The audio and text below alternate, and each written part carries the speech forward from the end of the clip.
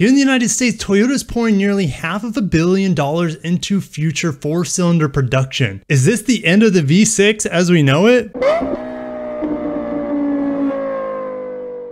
We're over at the Toyota newsroom. Toyota's investing $383 million into US production for four cylinders. If you're new to the channel, my name is Kirk. I talk about Japanese and Korean cars. If you enjoy that sort of content, make sure to subscribe. make sure to hit the like button for the V6, even though we're talking four cylinders today. I think the V6's time is numbered. Now, stay tuned because after we go over this big investment piece, we're going to go over the spreadsheet and talk four cylinders because that is the future of combustion for Toyota. So here we are, engine casting investment across four United States states furthers vehicle electrification efforts. So even though we're talking about the good old internal combustion engine here, this is for electrification and that next step, kind of that, that stopgap between full battery electric, which I don't know if Toyota ever plans to be fully battery electric. We'll see. They, they might go with synthetic fuels at some point, but that's a long time from now. Same thing with Toyota making 10 million BEVs a year. I just don't see it happening in my life. So let's read into this. This new investment supports the production of four cylinder engines, no V8s,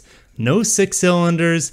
This includes the options for hybrid electric vehicles at its Alabama, Kentucky, Missouri, and Tennessee plants, all kind of in the traditional south of the United States, or should I say SEC country.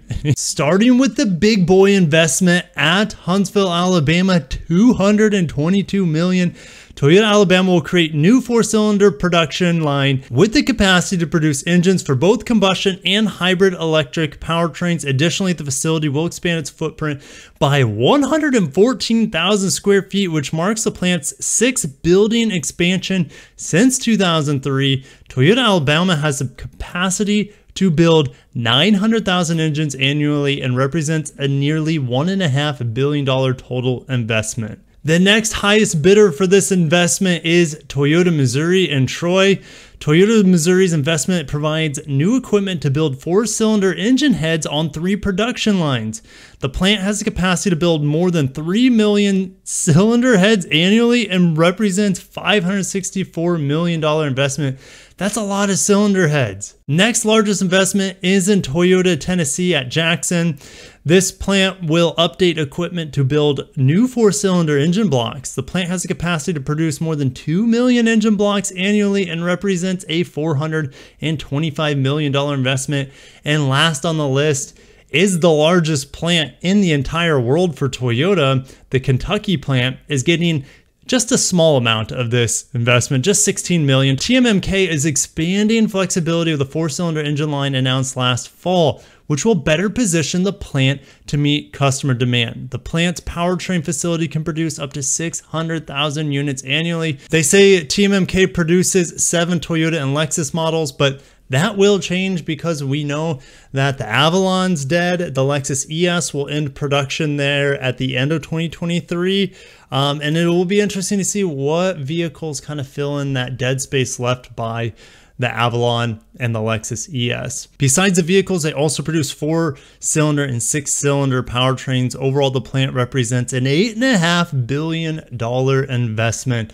So they are dumping money into four cylinders largely because that's what they have to do to meet emission standards as well as fleet fuel economy all those cafe ratings all that fun stuff um, that kills the fun of like the v8 long live the v8 like the lc500 sitting in my garage right now. Long live the v6 but you know there comes a time where change is necessary, I guess. So that's what we're talking about right now. So on this spreadsheet, I have all the four cylinder engines that Toyota brings to the United States market. I'm not talking about Japan, Europe, none of that. This is just engines in Toyota Lexus vehicles, specifically in the United States and probably Canada for that matter. We're going to start with the little displacements and working our way up to the largest displacement engines that we see. Currently, we have a 1.8 liter inline four, the 2ZR engine. It is in the Toyota Corolla, kind of like the base grades, the L, the LE, I think the XLE, which is not a base grade, but I think it still has this 1.8 liter,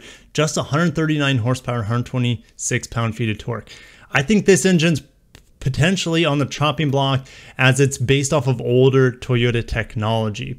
And what about the 2ZR hybrid engine that we see in the Corolla hybrid and the Prius? Well, it might be dead as well. Look, there's a new Prius coming out at least by the end of this year, from my understanding, unless it's been delayed, and we're hearing more power output. So I think the next logical step is to replace this pretty efficient 1.8 liter. It's tried and true. It's been in the Prius lineup for a long time and replace it with this 2 liter M20A FXS. This is the Dynamic Force series uh, that we see not only with these four cylinders, we see it in the three cylinders um, in the Yaris as well as the GR Corolla is based off this sort of Dynamic Force technology as well. We also have the twin turbo V6 seen in the Toyota and Lexus lineups that's based off this Dynamic Force technology, makes it more efficient and burn cleaner, right? I think the new Prius could very well use this 2 liter hybrid system as well as the Corolla hybrid. And if you think about it, all the Corolla hybrids, as far as I'm aware, are brought over from Japan.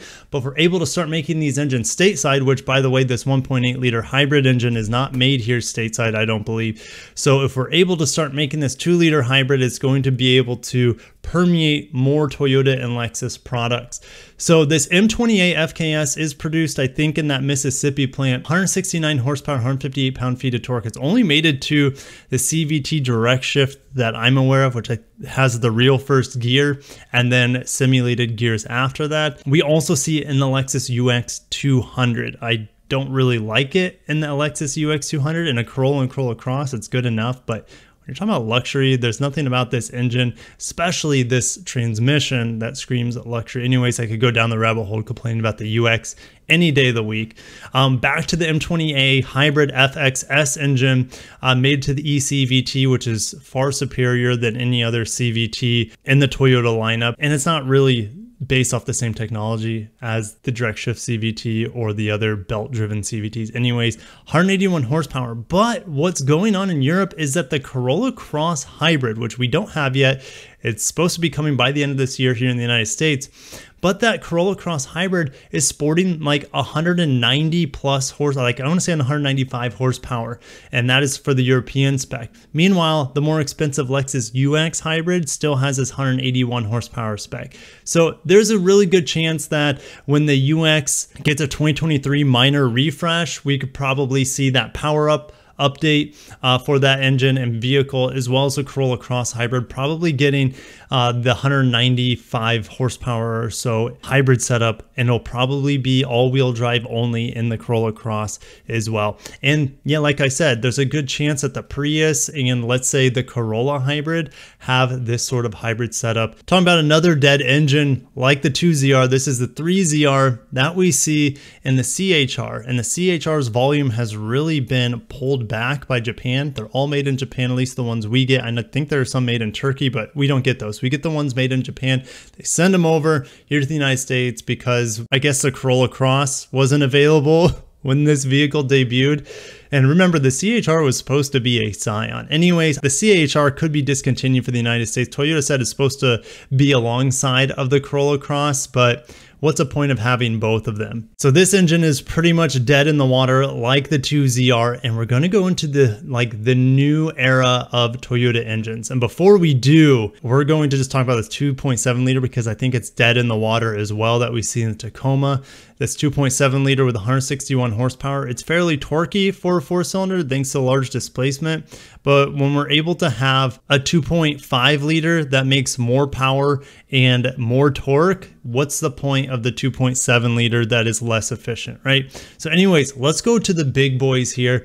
This just debuted the 2.4 liter T24A FTS turbocharged four cylinder just debuted in the Lexus NX. And guess what? They're making this engine stateside now, or at least in North America, because the NX production has begun this past month in Ontario, Canada, alongside the RX. So this engine, built by North American hands for sure, only has made it to an 8-speed automatic as we know, 275 horsepower and 317 pound-feet of torque. We only know of two applications it is going to be in, at least in the near term. I think it's safe to say Uh, the RX 350 redesign will replace the V6 with this four cylinder, and the NX 350 is the only vehicle currently on the market that has this engine. And if that's the case, all these larger TNGA-K platform vehicles like the NX, RX, ES, Camry, Venza, etc., if they traditionally had a V6 or something like that, I think it's going to be replaced by this 2.4 liter turbo that gets maybe slightly better miles per gallon, but definitely uh, more performance oriented, a lot more torque, and just better drivability with that low down torque for, for da daily driving. Now, I think we're also going to see this in the upcoming Lexus three row crossover, the TX and the Toyota counterpart, which is the Grand Highlander. Both of those vehicles will be built here stateside in Alabama, sorry, Indiana.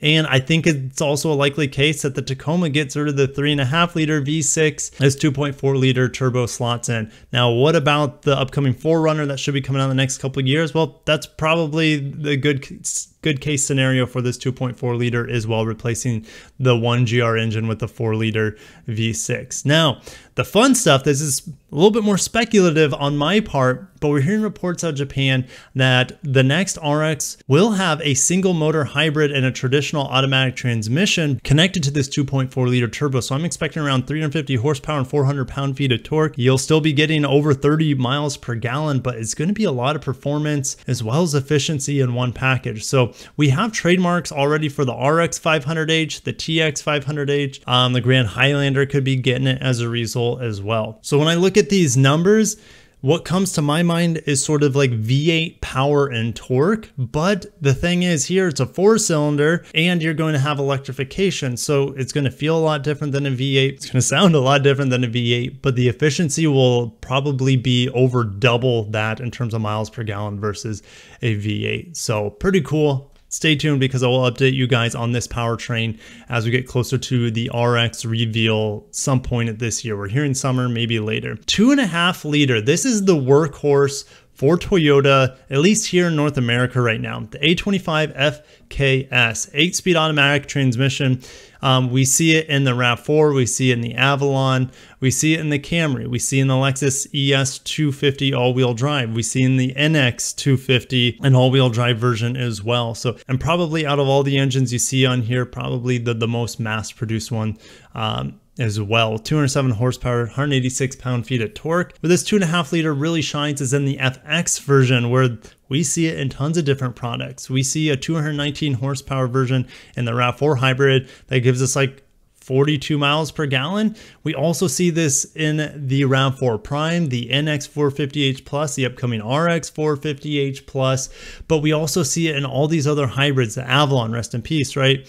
Um, the NX 350H, the RX 350H. We see it in the Sienna and Highlanders. Now, those have 245 horsepower. That's the highest horsepower variant that we know of with this engine. The funny thing is those also use just the old school nickel metal hydride battery, whereas the new Lexus NX has 239 horsepower, but it uses lithium ion instead. So I hope that spreadsheet gave you an idea of all the turbo and naturally aspirated uh, four cylinders, as well as hybrid variants of those four cylinders here in the United States. And all those hundreds of millions of dollars are really going to be flowing into the dynamic force engines, which are all on the screen right now. We have the 2 liter, which can be hybridized. We also have the 2.4 turbo, which can be hybridized, and this 2.5 liter workhorse mass. Like this is the big one in terms of the volume we see here in the United States.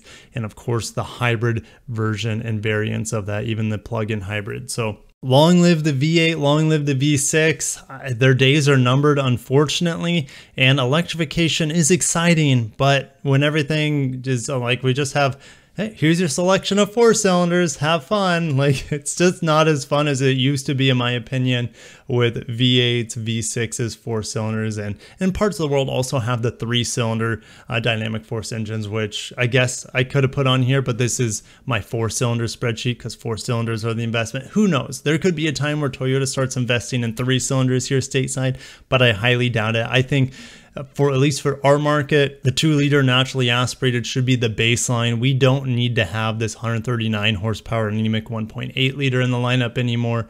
Just mass produce the M20A engine with 170 ish horsepower for the entry level Corolla and Corolla Cross and scale up from there. So four cylinders ranging from about 170 horsepower and then all the way to 350 horsepower when you include electrification and turbos. That's going to be the future of Toyota here in the United States and most of the world to be honest. But I'm going to end it there. Hit the like button if you haven't subscribed for more Toyota Lexus news. Catch you in the next one. Peace out.